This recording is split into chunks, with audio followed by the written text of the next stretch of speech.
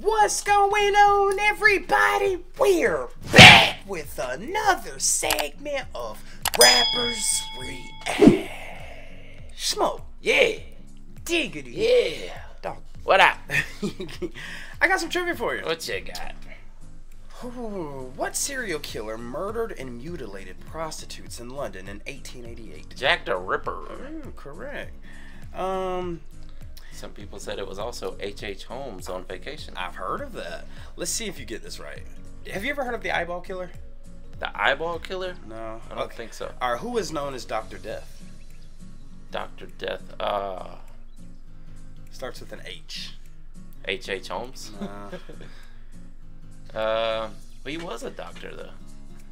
Was it? Is it's not his real name, like Henry Mudgett or whatever his name it's was? Harold Shipman. Oh, yeah. You're right. You want one more? Yeah. All right. What occupation? Uh, do you know who Beverly Allitt is? Mm, I know the name. I'm not sure I know the whole story. All right, hold on. Let me give you one. Oh, who is the world's youngest serial killer? Ooh.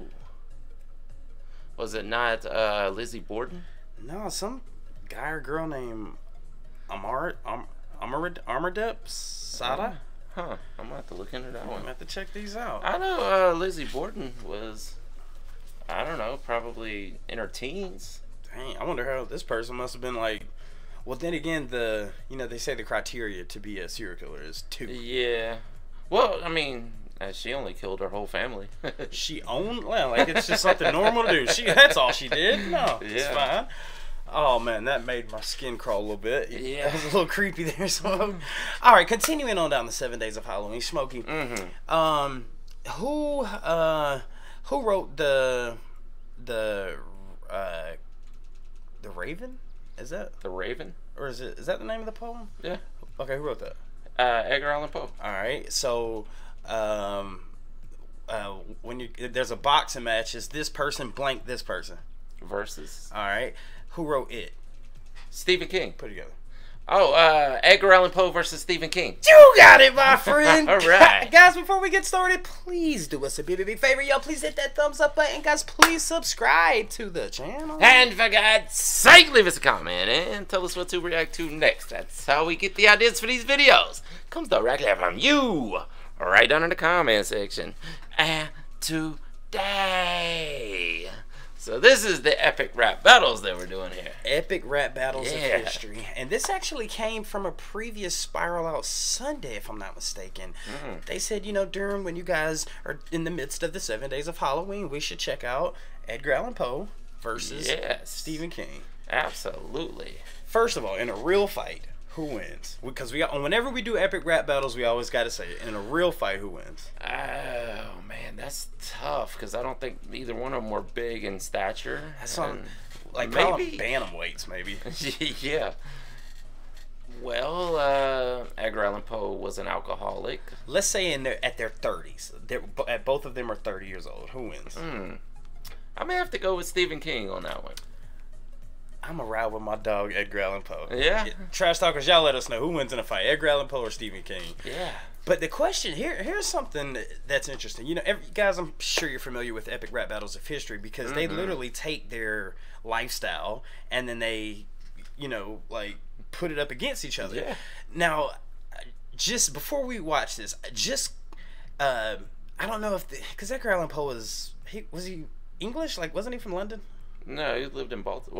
Well, he actually traveled uh, a few states, but he died in Baltimore. Baltimore. Yeah. That's why it's called Baltimore Ravens. Mhm. But I think Stephen King's gonna win this simply because, dude, Stephen King's a freaking lit. I mean, we can we can Oh, name movies forever, but yeah. you, can you name me more than two Edgar Allan Poe uh, poems? The Telltale Heart. I know that one. Um. Obviously, The Raven. Yeah, the Raven. Uh, what was it? Annabelle, I believe. What, was- So- wasn't it Annabelle? But you see where I'm going here, right? Yeah, Like, yeah, yeah, definitely. So, I'd have to go back through his catalog now. Oh, man, I've always liked Edgar Allan Poe, dude, and Mhm. and one me and Smokey's one of our favorite wrestlers growing up was the Raven or was Raven. Oh yeah, You know what he al- Absolutely. You know what he always used to say? Quote the Raven nevermore. Smoke dog. What up? Let's get into it. Let's do it. Epic rock battles of history.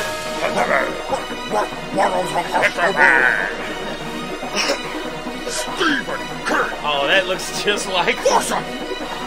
Edgar Allan Poe. Uh-oh. Once upon a midnight dreary, as I spit this weak and weary, I will choke this joker with a trochee till his cheeks are teary. But y'all don't hear me, all should fear me. I'll forever be better, you'll never be near me. Your books are as eerie as Beverly Cleary. You're a full Bram Stoker, so scram the show's over. Your flow so so pose poems, potent poser. I wrote wrote 'em locked in a cave. While I sobbed in a rage, the telltale heart beats soft in its grave. Well, this jerk just beats off on a page. Shop, you got that fun. Go back to Hot Topic and shop for a time. There's a melancholy alcoholic laughing stock in the King's Head. I watch the castle rise. Pouty little poet with an opiate affliction. I'm a workaholic with affection, addiction. Making dedicated readers shivery and jittery. Feel that rage and misery. You better start running, man. You're in deep poo I'm a mad dog. Think shiny. Cujo. Tommy knock you down till you can't stand up. You're as soft as Poe, the Kung Fu Panda. Racks on racks, cause I pen fat stacks of frightening writing. Have you seen the pile? I can even take a break from my routine style. Crank out a Shawshank or a Green Mile. Bars! Silly blood curdle hitting the pendulum. Not even unnerving. Irving on your first cousin when she's 13 years old. Now that's disturbing. Even you pretended. Bruh. Yeah. Did you know about that? Yes. Yeah, things were more accepted in those days than they are now. Mm. Okay, let's finish this. Yeah. style. Crank out a Shawshank or a Green Mile. Mask of the Red Death. Lily blood curdle hitting the pendulum. Not even unnerving. Irving on your first cousin when she's 13 years old. Now that's disturbing. Even you pretend to do it, I've been really living through it. Misery and poverty and family woes. I see through you like pantyhose. Do a Chappelle and Simpson cameos. Ah. Even if you're gripping on a weapon, then you better get a step in if you're messing with a whore lord. In a minute, maybe I'ma hit him, cut him into itty bitty bits, and I'ma stick him in the speaking of bored, you're the worst. Dropped out of school, but you can't drop a verse. I could've spent that time better. In eight bars, I can write a whole bestseller. I'm so prolific, it's sickly. Goblin won't be bothering me. I'm on a covering spree, and I'll be smacking you with any of the big thick in my big dick bibliography. See, I'm the author with the blood and gore lore galore that'll horrify a reader to the core. Fame, money, talent, success. You'll always have less. Nevermore. Oh. Damn. To the side. I, I think there's no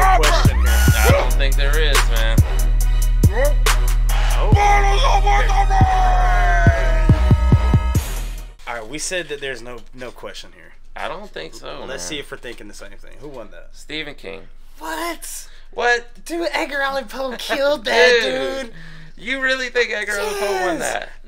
A hun- I think. I mean, other than the talking about his cousin. Yeah, he had some personal stuff that he dropped in there, which you couldn't really. I mean, like Edgar Allan Poe was talking about his uh, appearance on The Simpsons and whatever. Yeah, the, the the second verse of Edgar Allan Poe's wasn't that good, but the first verse he was killing it. it was hard. I, I give him that. I mean, it- like I didn't like. uh I mean, both of them were spitting bars. I mean, their flow and cadence was amazing. But the uh Stephen King when he was like um uh Kung Fu Panda, mm, Yeah. a little, little you know. Yeah, but think about this. They're all standing around in a big battle rap, like King of the Dot or something, and all the people are in the room listening. Hey, don't He forget drops- Smack. Don't forget Yeah. Well, he drops that 13 year old line, and the Oh, whole place explodes. Oh yeah, you Got a him. You got a point. Yeah. Oh, this uh again, it, with it being so spooky within the seven days of Halloween, it's you know we like we lightened it up a little bit early in the week. We, we checked out Family Guy, the mm-hmm. which was absolutely hilarious. Yeah. you, you guys haven't checked that out, go check out our Family Guy Halloween clips. But with with us doing all these creepy and scary things things during the seven days of Halloween, man, we gotta lighten it up a little bit with. Of Absolutely. History. yeah. Hundred percent, guys. Let us know what's next by Epic Rap Battles of History. Leave it down in the comments and let us know who you think won this. Was it Edgar Allan Poe or was it Stephen King? And who is the king of horror? If it's not Stephen King and it's not Edgar Allan Poe, who is the king of horror? Let us know in the comments. Mm-hmm. And with that being said, my name's Barringer Hollywood Six. Bye. I am Liberty Smokey Ramirez Cowan. and we are. over And- out. Deuces! I want to thank you guys for tuning in to another segment of Rappers React. If you guys want to see another artist that we covered, just click uh, right here. If you want to see the last video did, just click right over here. Thank you so much for spending a little bit of time with us today. Please hit that subscribe button if you haven't done so already, and we'll see you on the next one. Deuces!